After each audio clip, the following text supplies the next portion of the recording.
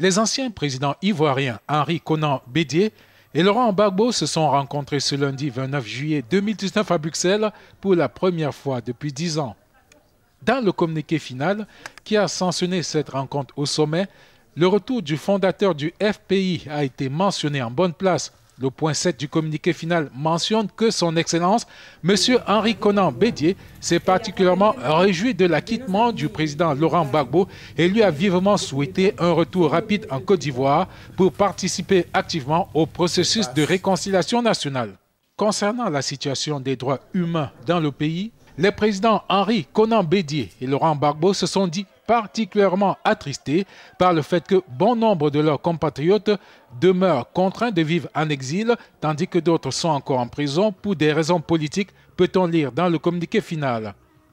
Les deux personnalités ont encouragé les Ivoiriens à s'engager résolument dans la voie de la réconciliation nationale pour asseoir une paix sociale durable et définitive, facteur de développement, de prospérité et de vie harmonieuse entre toutes les composantes de la nation ivoirienne. Fin de citation. Dans le cadre de l'organisation d'élections justes, transparentes et équitables en 2020, les deux personnalités plaident pour ce qu'elles ont appelé une réforme profonde de la commission électorale indépendante.